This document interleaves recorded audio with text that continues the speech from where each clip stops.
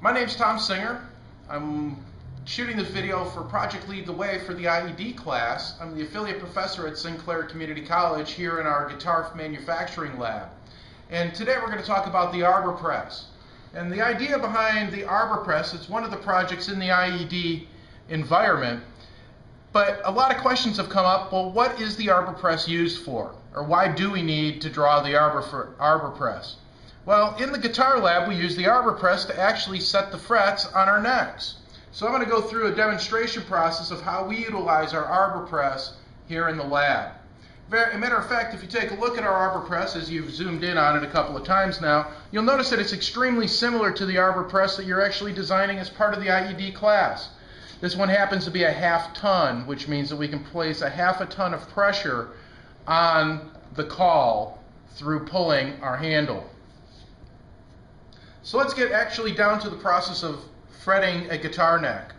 So we've already created, or we've already bent our fret wire.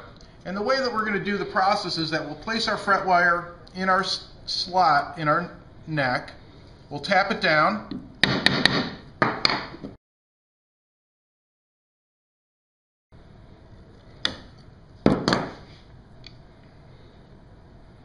Leaving a slight overlap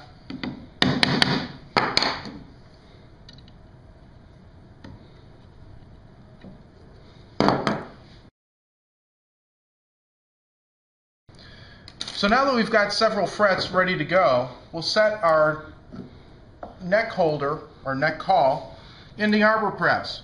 Now I'm not going to be torquing this down very hard at all. I'm just pressing it so the fret lies flat against the fretboard.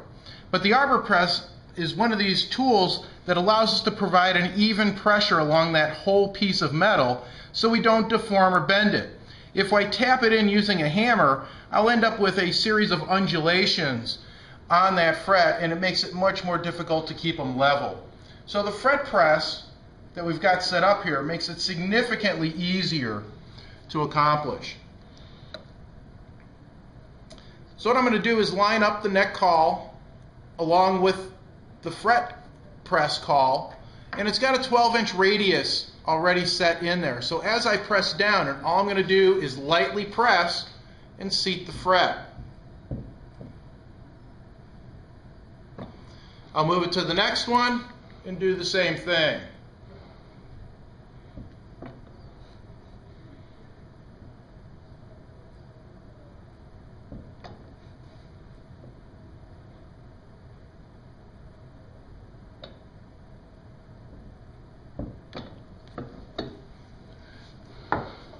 So the next time you get your axe out to play, you'll now understand why an arbor press is a key piece of machinery that you need to use to set your guitar up.